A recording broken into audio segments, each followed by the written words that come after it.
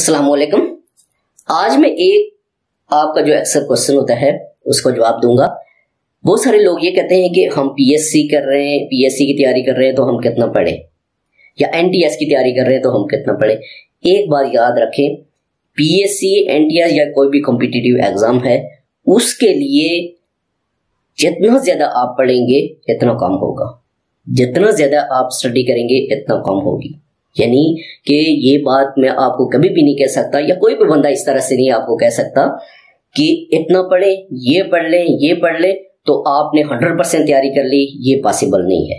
जितना ज़्यादा पढ़ेंगे, इतनी आपकी तैयारी अच्छी होगी, क्योंकि जिस, जब आप बहुत ज़्यादा स्टडी करेंगे तो डेफिनेट बात है, आपके पास ज़्यादा नॉलेज होगा तो उससे रिलेटिव मे बी कि आपको हंड्रेड मार्क्स का आ जाए, मे बी आपको एटी मार्क्स का आ जाए, मे बी आपको फिफ्टी मार्क्स का आ जाए। लेकिन ये कभी भी नहीं सोचना आपने कि ये पढ़ लिया तो मेरी हंड्रेड परसेंट तैयारी होगी, ये अबूल है।